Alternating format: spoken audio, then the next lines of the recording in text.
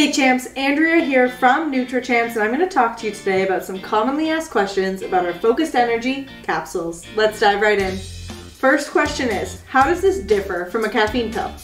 Unlike your typical caffeine pill, Focused Energy's formula delivers a clean flow of energy that tapers off slowly to avoid fatigue and crashing.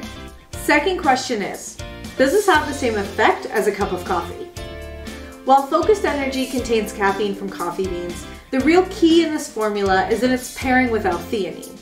Caffeine alone can sometimes cause jitters and increased anxiety, but the L-theanine in our formula contains calming properties that help counteract these effects. When combined, they create a more balanced and relaxed state without sacrificing alertness.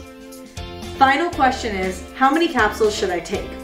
Take one capsule when you're looking for a mind and body boost.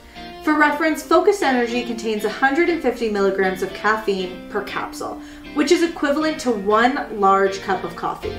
We suggest not exceeding four capsules daily. Thank you guys so much for watching. At NutraChamps, our customers are our number one priority, so if you ever have any questions, please don't hesitate to reach out to our amazing customer service team and they'll be happy to assist you.